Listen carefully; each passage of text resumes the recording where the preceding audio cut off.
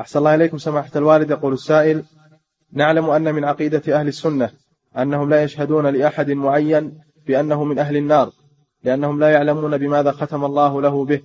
والسؤال هل نستطيع أن نحكم على المرتد الذي استتيب ولم يتب ثم قتل مرتدا أنه من أهل النار؟ نعم نحكم عليه بأنه مات على الردة وأنه قتل مرتدا. نطبق عليه حد الدنيا حكم الدنيا. أما حكمه في الآخرة فأمره إلى الله سبحانه وتعالى. لكن نحن نقول أنه مرتد وأنه قتل مرتدا وأبى أن يتوب.